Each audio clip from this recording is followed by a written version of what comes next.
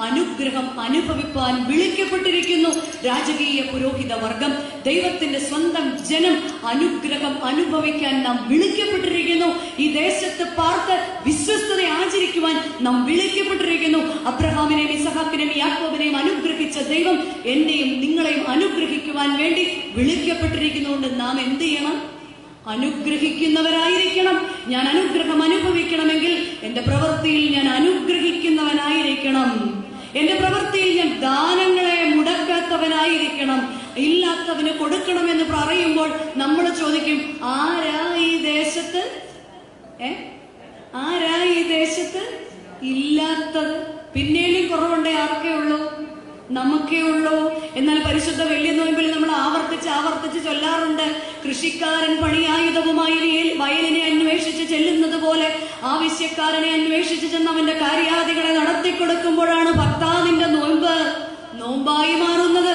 നിന്റെ പ്രവൃത്തിയിൽ നിന്റെ മക്കൾ കണ്ടുപിടിക്കണം. നീ ദാനം കൊടുക്കുന്നതാവാൻ ദേവാലയത്തിന് ദശാംശം കൊടുക്കുന്നവനാകാൻ എന്റെ ദൈവം എന്നെ ഏൽപ്പിച്ചിരിക്കുന്ന സകലത്തിനും അവൻ അധിപതിയാണ്. ലഭിച്ചതല്ലാതെ നമുക്ക് എന്തുള്ളൂ എന്നൊരു ചിന്ത അന്യനോട് കരുണ തോന്നാൻ എന്റെ മക്കൾ എന്നിൽ നിന്ന് കണ്ടുപിടിക്കട്ടെ. എന്റെ പ്രവൃത്തിയിൽ ഞാൻ അനുഗ്രഹിക്കപ്പെടുവാൻ ഞാൻ ദോഷത്തിന് പകരം ദോഷം ചെയ്യാത്തവനായിരിക്കണം. മറിച്ചില്ലാത്തവനെ തേടിപ്പിടിച്ച് ദാനം കൊടുക്കുന്നവനാകുമ്പോൾ മാത്രമാണ് ഞാൻ അനുഗ്രഹിക്കപ്പെടുന്നവനെന്ന് വേദപുസ്തകം പഠിപ്പിക്കുന്നു. രണ്ടാമതായിട്ട് പ്രാർത്ഥനയിലൂടെ നമുക്ക് അനുഗ്രഹം പ്രാപിക്കാം. പ്രാർത്ഥനയിലൂടെ അനുഗ്രഹം എന്ന് പറയുമ്പോൾ നമ്മുടെ ഹൃദയത്തിൽ ഒരു സന്തോഷ പ്രാർത്ഥിച്ച് നേടിയതേ ഉള്ളു. അച്ഛാ ഞങ്ങൾ പ്രാർത്ഥിച്ച് നേടിയതേ. അമ്മച്ചിമാരൊക്കെ അച്ഛനോട് പറയാം അച്ഛാ എന്റെ ഒറ്റ പ്രാർത്ഥന നിമിത്തം അല്ലെ ഈ ദേശത്ത് ഞങ്ങളുടെ കുടുംബം? ഇല്ലാതെയായി പോയനെ ഓരോ ഭക്തന്റെയും അവകാശമാണ് കണ്ടെത്താവുന്ന കാലത്ത് യഹോവയെ അന്വേഷിക്കുക എന്നുള്ളത്. ഓരോ ഭക്തനും തന്റെ ജീവിതത്തിൽ മൂന്ന് തരം പ്രാർത്ഥനകൾ ആവശ്യമുണ്ട്. ഒന്നവന്റെ വ്യക്തിപരമായ പ്രാർത്ഥന രണ്ടവന്റെ കുടുംബപരമായ പ്രാർത്ഥന മൂന്നവന്റെ കൂട്ടമായ ആരാധന. എന്നാൽ എന്താണ് പ്രാർത്ഥന? പ്രാണന്റെ അർത്ഥനയാണ് പ്രാർത്ഥന. ഇയോബിന്റെ പുസ്തകം പതിനൊന്നാം അധ്യായത്തിന്റെ പതിമൂന്നാം വാക്യം പറയുന്നുണ്ട് എങ്ങനെയാണ് പ്രാർത്ഥിക്കേണ്ടത്? എന്താണ് പ്രാർത്ഥന എന്ന് നമുക്കറിയാം. എങ്ങനെയാണ് പ്രാർത്ഥിക്കേണ്ടത്? നീ നിന്റെ ഹൃദയത്തെ സ്ഥിരമാക്കി അവങ്കലേക്ക് കൈകൾ മലർത്തുമ്പോൾ ദ്രോഹം നിന്റെ കയ്യിലുണ്ടെങ്കിൽ അകറ്റുക നീതികേട് നിന്റെ കൂടാരത്തിൽ പാർപ്പിക്കരുത്. നീ നിന്റെ ഹൃദയത്തെ സ്ഥിരമാക്കി അവങ്കലേക്ക് കൈകൾ മലർത്തുമ്പോൾ ദൈവസന്നിധിയിൽ ഇരുന്നു കൊണ്ട് കൈകൾ മലർത്തി നമ്മൾ പ്രാർത്ഥിക്കാറില്ലേ? എന്റെ ദൈവമേ എന്റെ ദൈവമേ എന്ന് വിളിക്കുമ്പോൾ നീ നിന്റെ ഹൃദയത്തെ സ്ഥിരമാക്കണം. ദൈവസന്നിധിയിൽ പൂർണ ഹൃദയത്തോടുകൂടി സൃഷ്ടാവിനെ സ്തുതിക്കുവാൻ എനിക്ക് സാധിക്കുന്നുണ്ടോ? പിന്നീട് പറയുകയാണ് നിന്റെ കൈമലർത്തുന്ന കയ്യിൽ ദ്രോഹമുണ്ടെങ്കിൽ അതിനെ അകറ്റുക. നിന്റെ കയ്യിൽ ദ്രോഹമായിട്ട് എന്തെങ്കിലും അന്യന്റേതോ സഹോദരന്റേതോ അയൽക്കാരന്റേതോ ദേവാലയത്തിന്റേതോ എന്തെങ്കിലും ദ്രോഹമായിട്ടുണ്ടെങ്കിൽ അതിനെ അകറ്റുക. നീതികേട് നിന്റെ കൂടാരത്തിൽ പാർപ്പിച്ചിട്ട് വീടിന്റെ മുൻപിൽ മുള നട്ട് വെച്ചിട്ട് കാര്യമില്ല. നീതികേട് നിന്റെ കൂടാരത്തിൽ പാർപ്പിക്കരുത്. ഇതാണ് പ്രാർത്ഥിക്കുവാൻ പാവിരിക്കുവാനുള്ള ഭക്തൻ ആദ്യം ചെയ്യേണ്ടത്. കൈകൾ മലർത്തുന്നതിന് മുൻപ് നിന്റെ ഹൃദയം ദൈവസന്നിധിയിൽ കലക്കമില്ലാത്തതായിരിക്കണം. നിന്റെ കൈകൾ ദോഷമില്ലാത്തതായിരിക്കണം. നീതികേട് നിന്റെ കൂടാരത്തിൽ പാർക്കുകയും അരുത് എന്നിട്ട് വേണം തരത്തിലുള്ള പ്രാർത്ഥനയെക്കുറിച്ച് ചിന്തിക്കാൻ ഒന്നാമതായിട്ട് വ്യക്തിപരമായ പ്രാർത്ഥന. പ്രിയരെ നമുക്കൊന്ന് ചിന്തിച്ചു നോക്കാം നമ്മുടെ വ്യക്തിപരമായ പ്രാർത്ഥന എങ്ങനെയാണ്? എങ്ങനെയാണ് ഞാനും എന്റെ ദൈവവും തമ്മിലുള്ള ബന്ധം? പലപ്പോഴും നമുക്ക് പറയാം ഞാനും എന്റെ ദൈവവും തമ്മിലുള്ള ബന്ധം ആകാശവാണിയും നമ്മളും തമ്മിലുള്ള ബന്ധമാണ്. ഓൺ ചെയ്ത് വെച്ച് കഴിഞ്ഞാൽ അങ്ങോട്ടൊന്നും കേൾക്കത്തില്ല. ഇങ്ങോട്ട് റേഡിയോ പറഞ്ഞുകൊണ്ടിരിക്കും. ഇതുപോലെ തന്നെ പ്രാർത്ഥിക്കാനാണെന്ന് പറഞ്ഞ് പലപ്പോഴും നമ്മൾ നമുക്ക് ആവശ്യമുള്ളതെല്ലാം ഇങ്ങനെ നിർത്താതെ പറഞ്ഞുകൊണ്ടിരിക്കുന്നതിനെയാണോ വ്യക്തിപരമായ പ്രാർത്ഥന എന്ന് പറയുന്നത്? എനിക്ക് പറയാനുള്ളത് പറഞ്ഞു കഴിഞ്ഞിട്ട് ഞാൻ എഴുന്നേറ്റങ്ങ് പോകും. അതാണ് പ്രാർത്ഥന എന്നാണ് നമ്മുടെ ഒരു ധാരണ. എന്നാൽ ദാനിയൽ പ്രവാചകന്റെ പുസ്തകം പത്താം അധ്യായത്തിൽ ഒരു പ്രാർത്ഥന നമുക്ക് കാണാം. ദാനിയൽ പ്രവാചകന്റെ പുസ്തകം പത്താം അധ്യായത്തിൽ ദാനിയൽ പ്രാർത്ഥിക്കുകയാണ്. ദാനിയേൽ പ്രാർത്ഥിക്കാൻ തുടങ്ങിയിട്ട് ഇരുപത്തൊന്ന് ദിവസം കഴിഞ്ഞു പത്താം അധ്യായത്തിന്റെ പന്ത്രണ്ടാം വാക്യമാകുമ്പോഴത്തേക്കും യഹോവയുടെ ദൂതൻ ദാനിയേലിന്റെ അടുക്കലേക്ക് കടന്നു വന്നിട്ട് പറയാ ഏറ്റവും പ്രിയ പുരുഷനായ ദാനിയേലെ നീ നിന്റെ ദൈവത്തിന്റെ സന്നിധിയിൽ നിന്നെ തന്നെ താഴ്ത്തി ഏൽപ്പിച്ച ആദ്യ നിമിഷം തന്നെ ഞാൻ നിന്നെ കണ്ടിരുന്നു. ദൈവത്തിന്റെ പുരുഷനായ ദാനിയേലെ നിന്റെ ദൈവത്തിന്റെ സന്നിധിയിൽ നിന്നെ താഴ്ത്തി ഏൽപ്പിച്ച വാക്കുകൾ കൊണ്ട് താഴ്ത്താൻ എന്തൊരു എളിമയാണെന്ന് നമുക്കറിയാമോ കർത്താവേ? ഞാൻ പുഴുവ ഞാൻ കൃമിയ എന്നൊക്കെ പറഞ്ഞ് പ്രാർത്ഥിക്കുന്നതല്ല. ഹൃദയം കൊണ്ട് ദൈവസന്നിധിയിൽ ഒന്ന് താഴുവാൻ ഹൃദയം കൊണ്ട് നമ്മെ തന്നെ ഒന്ന് സമർപ്പിക്കുവാൻ നമുക്ക് സാധിക്കുമ്പോൾ ദൈവത്തിന്റെ ദൂതന്മാർ നമുക്ക് ചുറ്റും പാളയമിറങ്ങും. ദൈവസന്നിധിയിൽ ധ്യാനിയലിനോട് പറയാ നിന്റെ ദൈവത്തിന്റെ മുൻപിൽ നിന്നെ താഴ്ത്തിയ ആദ്യ നിമിഷം തന്നെ ഞാൻ നിന്നെ കണ്ടു. ഞാനും നിങ്ങളും പ്രാർത്ഥിക്കുവാനിരിക്കുമ്പോൾ എപ്പോഴെങ്കിലും ദൈവത്തിന്റെ ദൂതനെ കാണുവാൻ നമുക്ക് സാധിക്കുന്നുണ്ടോ? സ്വർഗം തുറന്നിരിക്കുന്നത് കാണുവാൻ നമുക്ക് സാധിക്കുന്നുണ്ടോ? അങ്ങനെയെങ്കിൽ മാത്രമാണ് എന്റെ വ്യക്തിപരമായ പ്രാർത്ഥന ദൈവസന്നിധിയിൽ ഇമ്പകരമാകുന്നത്. രാവിലെ ഞാൻ എണീക്കുമ്പോൾ അയ്യോ ഇന്നും പതിവ് പോലെ സമയം പോയി. കർത്താവ് ഇവരെല്ലാം വിടേണ്ടതല്ലേ എന്ന് പറഞ്ഞ് ഞാൻ എഴുന്നേൽക്കുന്നു. രാത്രിയാകുമ്പോൾ അയ്യോ കർത്താവെ പതിവ് പോലെ ഞാൻ ക്ഷീണിതനാണെന്ന് പറഞ്ഞ് ഉറങ്ങുന്നതാണോ വ്യക്തിപരമായ പ്രാർത്ഥന? അല്ലയോ ഇരുത്തം വന്ന തലമുറയെ ഇളം തലമുറയ്ക്ക് വ്യക്തിപരമായ പ്രാർത്ഥനയിൽ നിങ്ങൾക്ക് മാതൃകയാകാൻ സാധിക്കുന്നുണ്ടോ?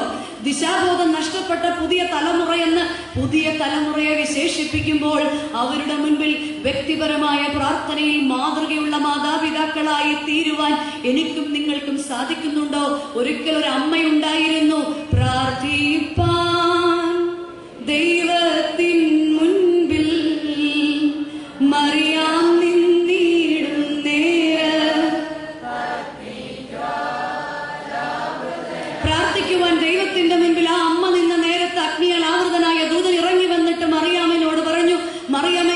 സമാധാനം കൃപ നിറഞ്ഞവളെ നിനക്ക് വന്ദനം എന്നിട്ട് പറഞ്ഞ വാർത്ത ഒട്ടും മംഗളകരമായിരുന്നില്ല. പുരുഷനെ അറിയാതെ നീ ഒരു കുഞ്ഞിന് ജന്മം നൽകുമെന്ന് ഒരു യഹൂദ സ്ത്രീയോട് പറയുന്നതും കൊല്ലറിഞ്ഞ് കൊല്ലുവാൻ നിന്നെ അയക്കുന്നു എന്ന് പറയുന്നതും ഒരുപോലെയാ. എങ്കിലും പരിശുദ്ധ അമ്മ ദൈവദൂതന് മുന്നിൽ സമ്മതിച്ചു. എന്റെ ഇഷ്ടമല്ല അവിടുത്തെ ഇഷ്ടം എന്നിൽ നിറവേറട്ടെ. എവിടെയാണ് അതിന്റെ പൂർത്തീകരണം ഉണ്ടായത്? മുപ്പത്തിമൂന്ന് വർഷങ്ങൾക്ക് ശേഷം ഈ മറിയാമിന്റെ പുത്രൻ ഗത്സമനയിൽ രക്തം വിയർത്തിട്ട് പിതാവിന്റെ മുൻപിൽ കഷ്ടതയുടെ പാനപാത്രം കയ്യിലെടുത്തിട്ട് പറഞ്ഞു അല്ലയോ അപ്പ എന്റെ ഹിതമല്ല. അവിടുത്തെ ഹിതമെന്നിൽ നിറവേറട്ടെ. വ്യക്തിപരമായ പ്രാർത്ഥനയിൽ ദൈവത്തോട് ദൈവ ഇഷ്ടത്തെ ആലോചന ചോദിച്ച് ദൈവ ഇഷ്ടം എന്റെ ഇഷ്ടമാക്കുവാൻ എന്റെ ഇഷ്ടം ദൈവം സാധിക്കുകയല്ല. മറിച്ച് ദൈവത്തിന്റെ ഇഷ്ടം എന്റെ ഇഷ്ടമാക്കി തരുവാൻ കണ്ണുനീരോടുകൂടി പ്രാർത്ഥിക്കുന്ന മാതാപിതാക്കളായിരുന്നു സഭയുടെയും സമൂഹത്തിന്റെയും ധൈര്യവും ശക്തിയും. രണ്ട് കുടുംബ പ്രാർത്ഥന. ഇന്ന് ഏറ്റവും കൂടുതൽ പരിഹാസ്യമായ പ്രാർത്ഥന കുടുംബ പ്രാർത്ഥനയല്ലേ? കൃത്യസമയത്ത് രാവിലെയും വൈകിട്ടും പ്രാർത്ഥിക്കുന്ന എത്ര കുടുംബങ്ങൾ ഇന്നുണ്ട്? കുടുംബമായിട്ട് പണ്ട് ഒന്നുമില്ലായ്മയുടെ കാലത്ത് ഓലമേഞ്ഞ വീട്ടിൽ ചാണകം മെഴുകിയ തറയിൽ ഇരുന്നു കൊണ്ട് അപ്പനും അമ്മയും മക്കളുമെല്ലാം ചേർന്ന് പ്രാർത്ഥിച്ചു യഹോവാ എന്റെ ഇടയനാകുന്നു എനിക്കൊന്നിനും അവരുടെ കണ്ണുനീർ വീണ് കുതിർന്ന തറകളെല്ലാം ടൈൽസുകളും ഗ്രാനൈറ്റുകളുമായി മാറി ഉയരത്തിലേക്ക് അവർ കണ്ണുകൾ ഉയർത്തിയതുകൊണ്ട് മച്ചിട്ട മനോഹരമായ ഭവനത്തിൽ പട്ടുമെത്തകളിൽ തിരിഞ്ഞും മറിഞ്ഞും കിടന്ന് ഉറങ്ങുമ്പോൾ പ്രിയരെ കുടുംബ പ്രാർത്ഥന ഇന്ന് എവിടെ എത്തി നിൽക്കുകയാണ് നമ്മുടെ കുടുംബ പ്രാർത്ഥനകൾ ഇന്ന് എന്താണ് അല്ലെങ്കിൽ എങ്ങനെയാണ് പലപ്പോഴും ഇന്ന് പ്രാർത്ഥന എന്ന് പറയുമ്പോൾ നമ്മൾ മാതൃകയാക്കുന്നത് ഉൽപ്പത്തി പുസ്തകം ഇരുപത്തിയെട്ടാം അധ്യായത്തിൽ നമുക്ക് വളരെ വേണ്ടപ്പെട്ട ഒരു കഥാപാത്രമുണ്ട് യാക്കോബ്. യാക്കോബ് പ്രാർത്ഥിച്ചു അനുഗ്രഹിക്കാതെ ഞാൻ നിന്നെ ആ ആകാശത്തെയും ഭൂമിയെയും നിർമ്മിച്ചവൻ അണ്ടകടാകത്തെ തന്റെ ഉള്ളം കയ്യിൽ വഹിച്ചവനായ ദൈവത്തോട് പറയാ അനുഗ്രഹിച്ചില്ലേ ഞാൻ നിന്നെ? ഉവ വലിയ പേടിയാ ദൈവത്തിന്. ദൈവത്തിന്റെ കൃപയാൽ എത്ര നാം ആയിരിക്കുന്നത് ഇവിടെ യാക്കോബ് ഇരുപത്തിയെട്ടാം അധ്യായത്തിന്റെ ഇരുപത്തി ഇരുപതാം വാക്യത്തിൽ പറയാ യഹോവേ നീ എന്നെ അനുഗ്രഹിക്കണം. നിശ്ചയം നീ എനിക്ക് ഉണ്ണാനും ഉടുപ്പാനും നൽകി. എന്റെ മപ്പന്റെ ഭവനത്തിലേക്ക് എന്നെ പറഞ്ഞയച്ചാൽ നീ എന്റെ ദൈവം എന്ന് ഞാൻ സാക്ഷിക്കാവുന്നു. ഇന്ന് നമ്മളും പലപ്പോഴും ഇതൊക്കെ തന്നാൽ ദൈവം നല്ലതാണെന്ന് മക്കളുടെ മുൻപിൽ സമ്മതിക്കുന്നവരാണ്. ദൈവ ഇഷ്ടത്തിന് സമർപ്പിക്കുന്നവരാകുന്നില്ല നമ്മൾ എന്നാൽ നമ്മുടെ പിതാക്കന്മാർ നമ്മെ പഠിപ്പിച്ചിരിക്കുന്നത് അങ്ങനെ പ്രാർത്ഥിക്കാനാണോ? ഏത് കുരിശുണ്ടെങ്കിലും ഇങ്ങോട്ട് പോയി ഞാൻ മാറ്റിത്തരാം. എടുത്തു കളയാം എന്ന് പറഞ്ഞല്ല നമ്മെ പഠിപ്പിച്ചിരിക്കുന്നത്. നമ്മെ രക്ഷിപ്പാനായി സ്വർഗത്തിന്റെ മറയെ കയറി ഭൂമിയിലേക്ക് ഇറങ്ങി വന്ന പുത്രൻ കുരിശിൽ നിന്ന് ഇറങ്ങിപ്പോയവനല്ല. കുരിശിൽ കിടന്നുകൊണ്ട് പിതാവിന്റെ ഹിതം നിറവേറ്റിയവനാണ്. ജീവിതത്തിന്റെ കഷ്ടതകളെ വിശ്വാസത്താൽ അതിജീവിക്കുവാനാണ് നമ്മുടെ പിതാക്കന്മാർ നമ്മെ പഠിപ്പിച്ചത്. നമ്മെ പഠിപ്പിച്ചത് ഹബക്കൂക്ക് പ്രവാചകൻ പ്രാർത്ഥിച്ചതുപോലെ പ്രാർത്ഥിക്കാനാ. എങ്ങനെയാണ് ഹബക്കൂക്ക് പ്രവാചകൻ പ്രാർത്ഥിച്ചത്? ഹബക്കൂക്ക് പ്രവാചകന്റെ പുസ്തകം മൂന്നാം അധ്യായം ആരംഭിക്കുന്നത് തന്നെ വിഭ്രമരാഗത്തിൽ ഹബക്കൂക്ക് പ്രവാചകൻ എഴുതുന്നു എന്നാണ്. എന്തായിരുന്നു വിഭ്രമം? എന്തായിരുന്നു സങ്കടം? താഴേക്ക് വായിക്കുമ്പോൾ പതിനേഴ് പതിനെട്ട് വാക്യങ്ങളിലേക്ക് കടന്നു വരുമ്പോൾ നമുക്കറിയാം.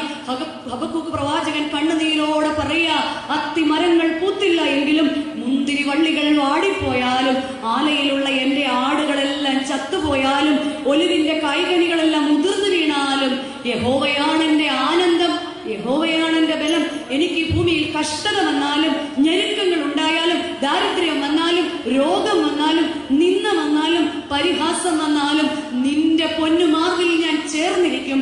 നിന്റെ കൈ എന്നെ ആശ്വസിപ്പിക്കും.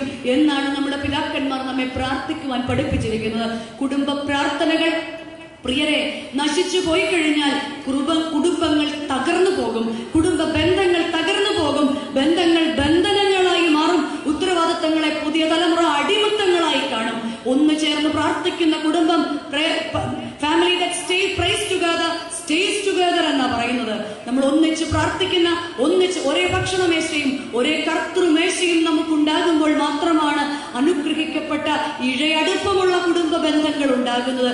കുടുംബ പ്രാർത്ഥനകൾ എവിടെങ്കിലും താളം തെറ്റിയിട്ടുണ്ടെങ്കിൽ പുതിയ വർഷത്തിൽ ഒന്ന് പൊടി തട്ടിയെടുക്കാം രാവിലെയും വൈകിട്ടും എന്തെല്ലാം സംഭവിച്ചാലും അപ്രകാരം പ്രാർത്ഥിക്കുവാൻ നമുക്ക് സാധിക്കണം.